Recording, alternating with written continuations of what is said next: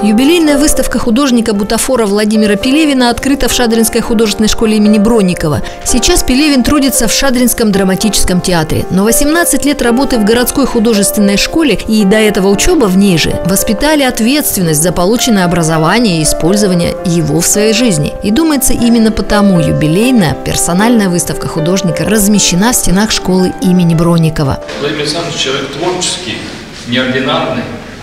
И основную закваску, как говорится, школу он прошел именно в нашей школе. Учителя у него были очень солидные, наши известные преподаватели, те, кто организовывал эту школу. Поэтому ему было у кого поучиться и в конечном счете развивать свой дар.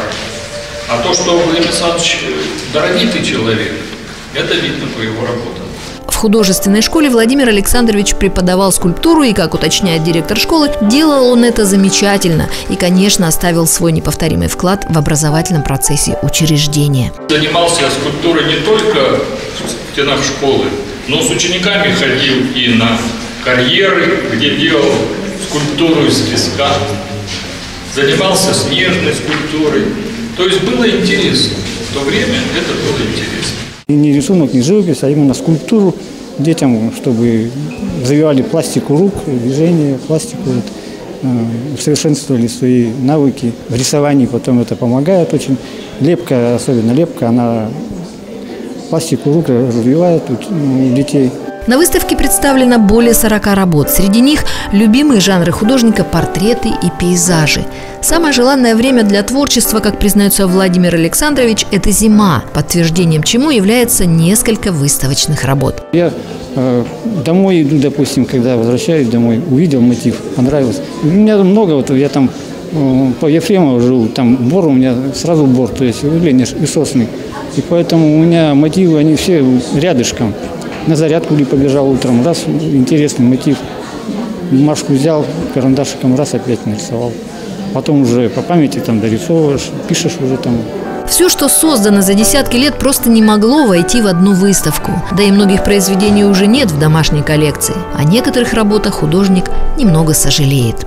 Много работы, естественно, ушло на заказ, были заказы, и так дарил просто родственникам на свадьбу, там, на день рождения. То есть э, работы, в принципе, даже очень сейчас вот э, вспоминаю, очень хорошие, удачные какие-то такие работы живописные. Их сейчас уже давно нет у меня. Их уже не восстановить просто даже уже.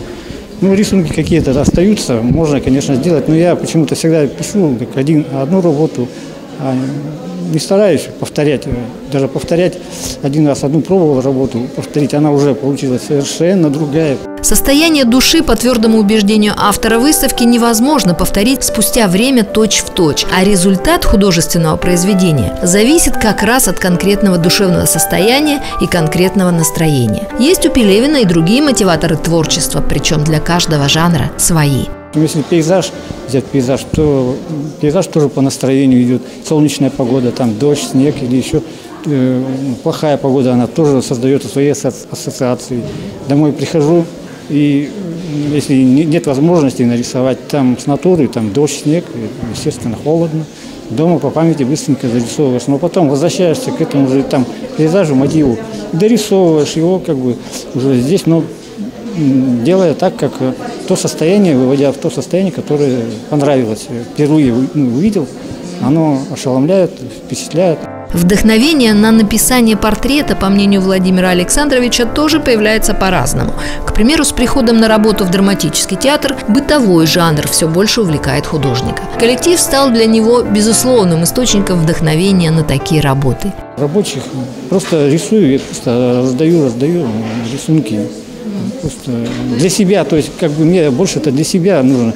И человека характер, ну передашь характер человека там все, и человеку приятно. И это чувство, похоже, взаимное у Пелевина и у его нынешних коллег по бутафорскому цеху. От их имени художника поздравил пришедший на открытие выставки в школу директор городского драмтеатра. Действительно, талантливый человек, он талантлив во всем. И вот сегодняшняя выставка, с которой хочется поздравить вас и с предшеств... Э, скоро у вас юбилей, искренне пожелать здоровья и чтобы ваше творчество продолжало нас всех радовать.